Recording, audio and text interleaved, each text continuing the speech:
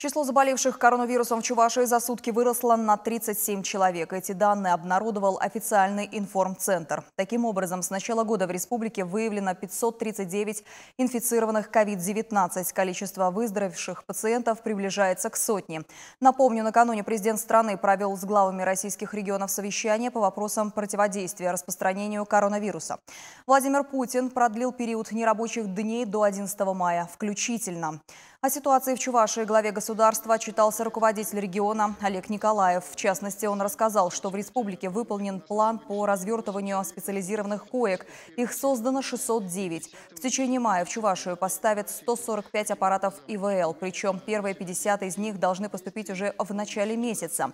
По завершении онлайн-совещания Олег Николаев отметил, в республике готовы реализовать все озвученные президентом России инициативы по предотвращению распространения коронавируса.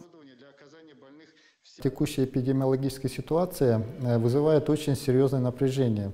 То есть, с одной стороны, вроде бы э, количество заболеваемых э, на стабильном уровне, растет количество выздоравливающих, но однако достаточно много людей находится в режиме медицинского наблюдения, ну и само количество заболевших тоже пока достаточно на высоком уровне. Все это говорит о том, что нам надо сохранять режим самоизоляции, очень внимательно относиться к мерам безопасности. Наша задача вот за эти две недели, которые нам предстоит, все-таки закрепить те позитивные тенденции, с одной стороны, с другой стороны, э, создать возможность дальше уже жизнь налаживать в привычном режиме.